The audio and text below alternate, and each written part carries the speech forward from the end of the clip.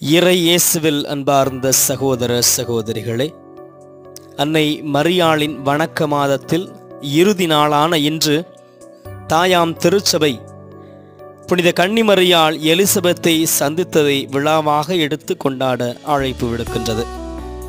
மரியால் எலிசபெத்தை சந்தித்த இந்த விழா பதிமூன்றாம் நூற்றாண்டில் வாழ்ந்த பொனவெந்தர் என்பவரால் தொடங்கப்பட்டது. ஆனால் இன்று இவ்வளவு சிறப்பு பெற்றதற்கு முக்கிய காரணம் பராக் நகரின் ஆயர் ஜான் ஜென்ஸ்டீன் என்பவராவார்.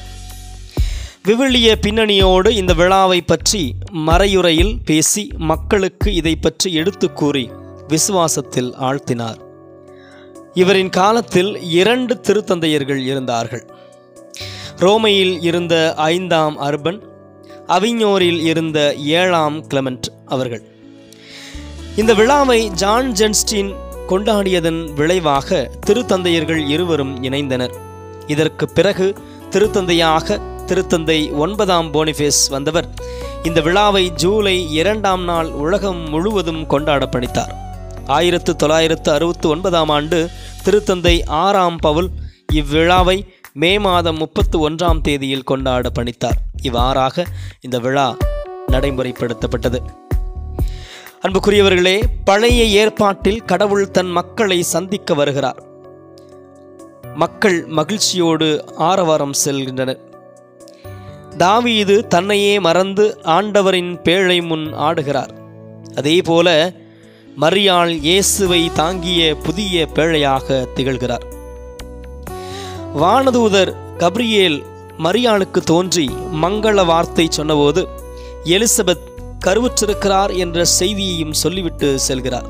எனவே மரியாள் தனது சொந்த ஊரான நாசரத்திலிருந்து எலிசபெத்து இருக்கக்கூடிய ஐன்கரீம் என்ற மலைநாட்டிற்கு செல்கிறார். மரியாள் எலிசபத்தை சென்று பார்க்க வேண்டும் அவருக்கு உதவ வேண்டும் என்று யாரும் சொல்லவில்லை. ஆனாலும் மரியாள் விரைந்து சென்று எலிசபெத்துக்கு உதவுகிறார்.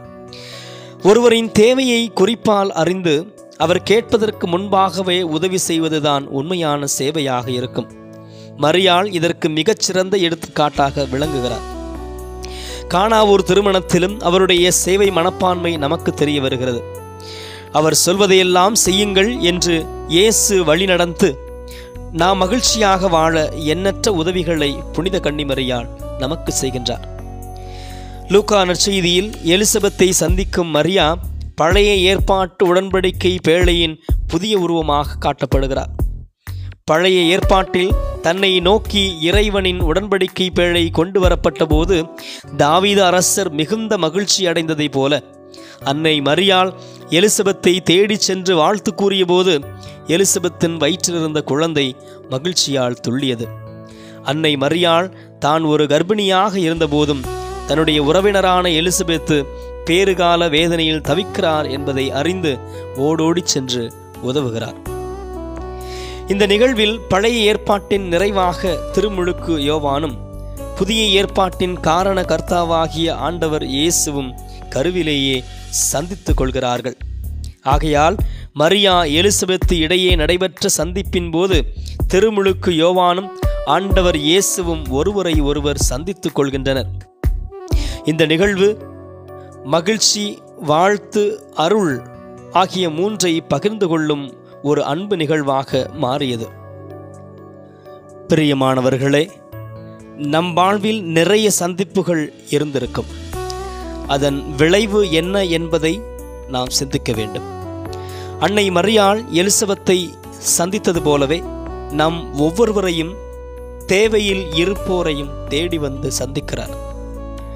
நாம் இந்த மாதம் முழுவதும் தெரிந்து கொண்ட ஒவ்வொரு மாதாவுமே தேவையை அறிந்து மக்களை சந்தித்ததை நம்மால் காண முடியும்.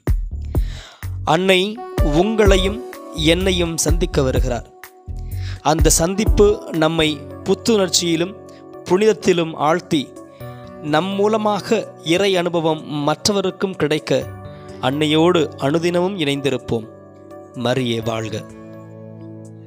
புனித மரியாலே தேவையில் இருந்த எலிசபெத் அம்மாளை தேவையறிந்து சந்தித்த இறைவனின் தாயே எங்கள் தேவையை அறிபவர் நீரே எங்கள் ஆசைகளை அறிபவர் நீரே. எங்களை சந்திக்க வாரும் அம்மா. அமைதி இல்லாத எங்கள் வாழ்வில் அமைதியை தாரும். இருள் சூழ்ந்த வாழ்வில் ஒளியை தாரும். எங்கள் துன்பத் துயரங்கள் நீக்கப்பட்டு வாழ்வில் மகிழ்ச்சியுடன் வாழ வரமருளும் அம்மா. ஆமேன்.